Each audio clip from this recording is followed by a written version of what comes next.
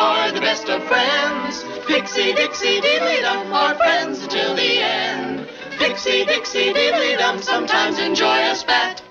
Pixie, Dixie, Diddly Dum with Mr. Jinks the cat.